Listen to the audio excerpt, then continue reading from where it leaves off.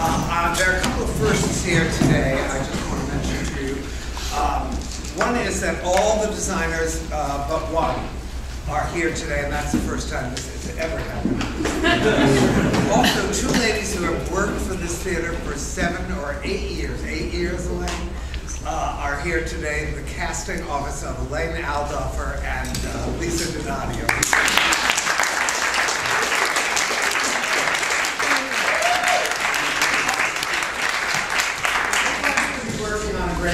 Great comedy at that.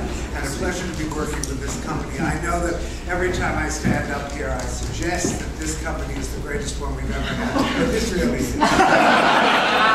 Except, let's see, I, I, I have two things to say. One is that Nikki, seven and a half years ago, said, the first thing I have to get around to is finding a show for Victor.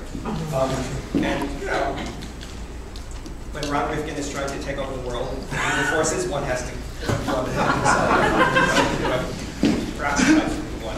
Um, but, uh, you know, the other thing is that Nikki, this show, we're supposed to, we were, go- we're, we're scheduled to do streamers. Scott Ellis um, asked us if we would postpone it, and suddenly there was a, a gap in the season. And, you know, one of the burdens of being artistic directors, he said, well, I should do a show.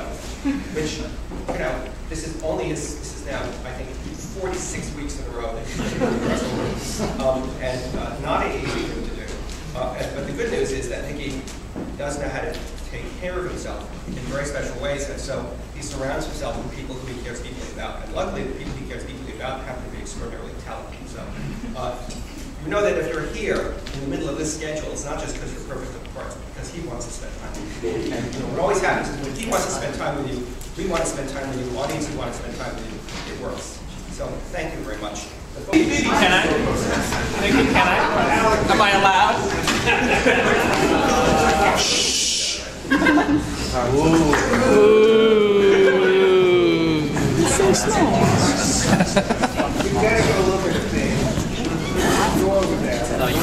Think you fell over? That'll be the first time. It's gorgeous. Get out of the way so others can. The most important thing for me with this company, uh, I'm very, very user-friendly. So it is so important to me that you absolutely tell me you like it, you don't like it, whatever. I want to hear that, and frankly, see in the fitting room, which is where it really is happening and more Just fun. don't listen to Brooks. Can we just like, it sounds like a don't listen and then fill in the blank Yeah. statement to me. I think it's a scary group. Welcome, glad to see you all. Thank you. Thank you. And then our final designer is here, Rui Rita, our lighting designer. Saying hello, thank you.